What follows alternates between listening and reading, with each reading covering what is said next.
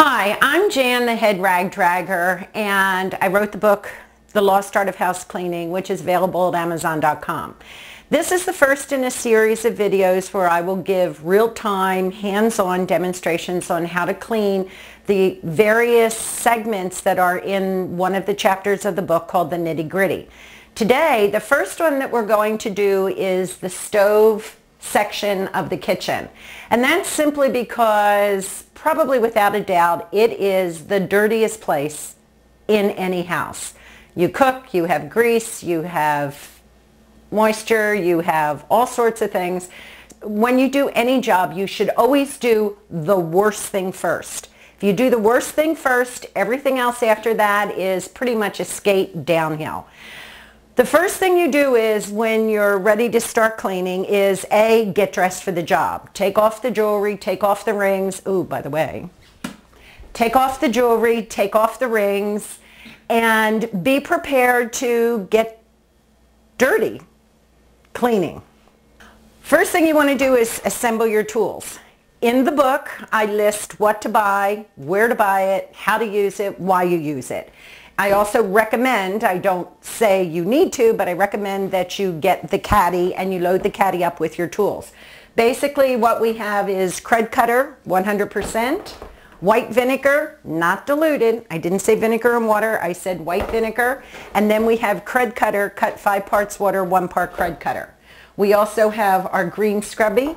We have our black detail brush. We have our large white detail brush. And I also have white terry cloth rags and microfiber rags.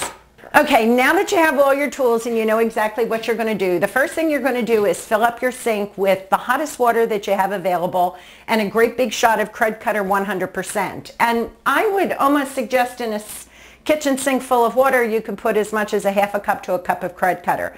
The reason why is Krud Kutter will do the work for you if you let it. After your sink is full, you go back to your stove range area and you start taking out all, taking off all the things that you can throw in the sink and let soak.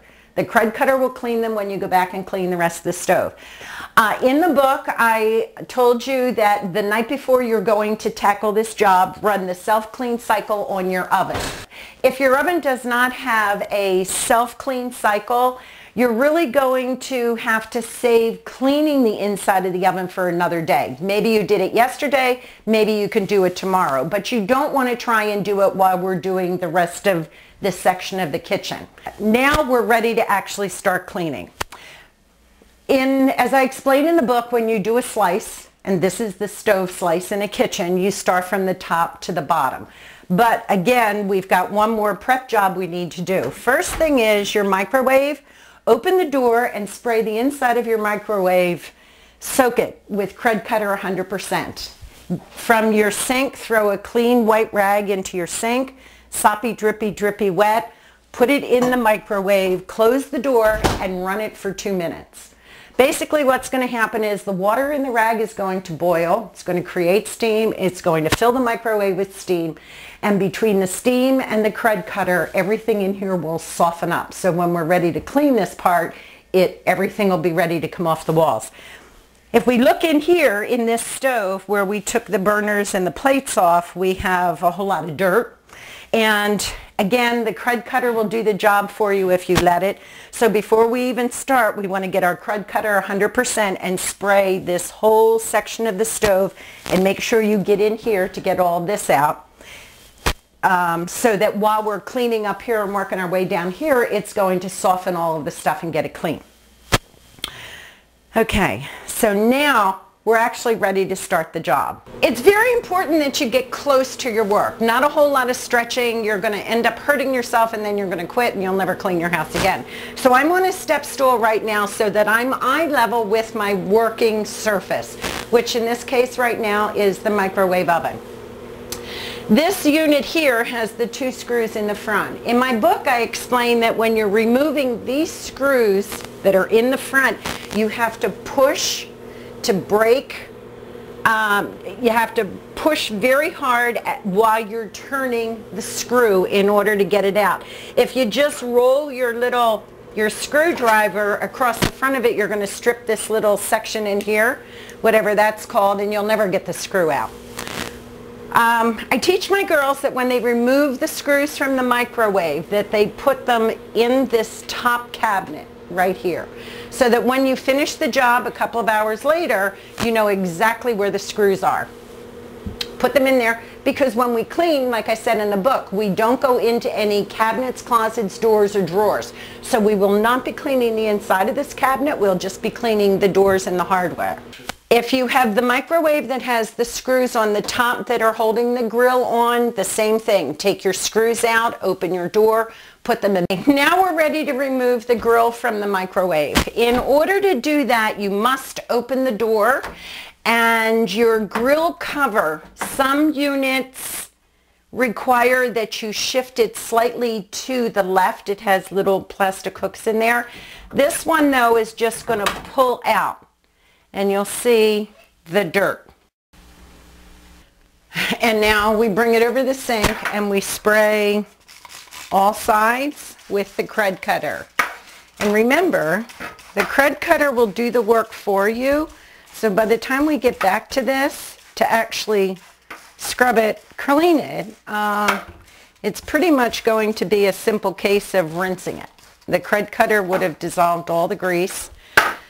Of course, there are some of these things that are so dirty that you may have to spray, scrub, rinse, spray, scrub, rinse. Um, like I said in the book, you clean it until it's clean. So after you've taken care of that, leave it and go back to the stove. We also need to remember to take this grease screen that's under the, uh, on the bottom side of the microwave. And these, uh, depending on the model of microwave you have, there could be one, two, or three. This um, particular unit only has one, and that's another piece that we're going to throw into our sink and let the Krud Kutter soak clean until we're ready to actually clean it. Um, we ran our rag on the inside. We cooked it for two minutes. Uh, so that's soaking. And now what we're going to do is spray the whole exterior of the range area before we actually start cleaning. This way the Krud Kutter will start softening up all the dirt and we should be able to get it off quite easily without having to do a lot of scrubbing. If you were standing where I am, this wall is actually fuzzy.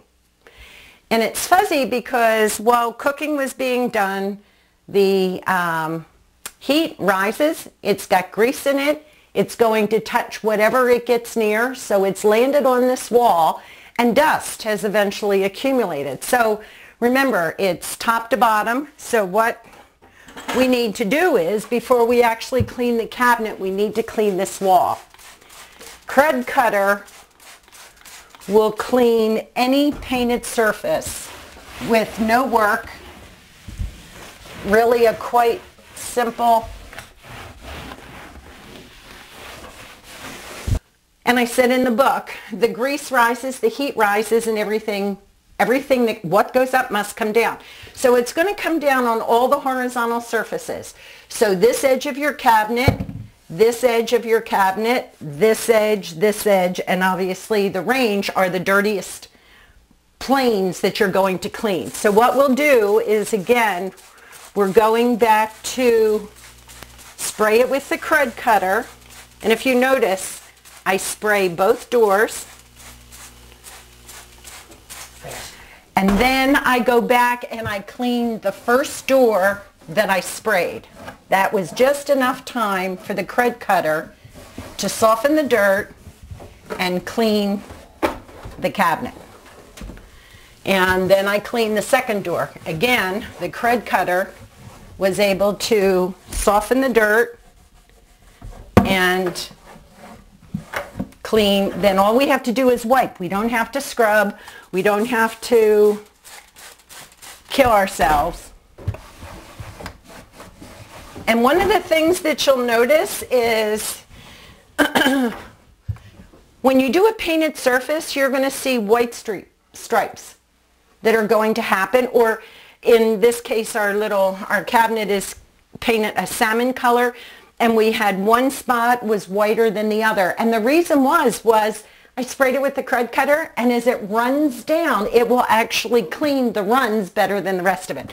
So go back and even off the dirt. After you clean the outside, you clean the inside. And look at the inside of your cabinets and you'll see how much dirt is actually on the insides. And just simply with a rag, all of the dirt wipes off.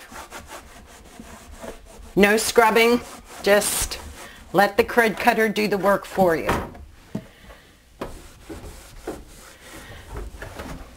So it really ends up being, for the most part, unless your kitchen is just so grubby that you should probably burn it rather than try to clean it.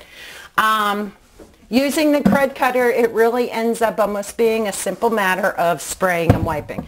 So now your cabinets are clean, your handles are clean, your hardware is clean. Then we move down. While you're cleaning, your rags are going to get either wet or dirty. When they do, just throw it down, get yourself another rag. That's why when in the book I explain buy yourself a couple dozen rags. Okay, now we're going to clean the front of the microwave oven and make sure you get the handle. Make sure you get all of these edges around here. There are a few microwaves that have a, an additional charcoal filter that's in here behind the grill. You can pull that out and clean it. This one doesn't have one, so we just have one less filter to Okay, now that we've, then we'll be ready to finish the rest of it.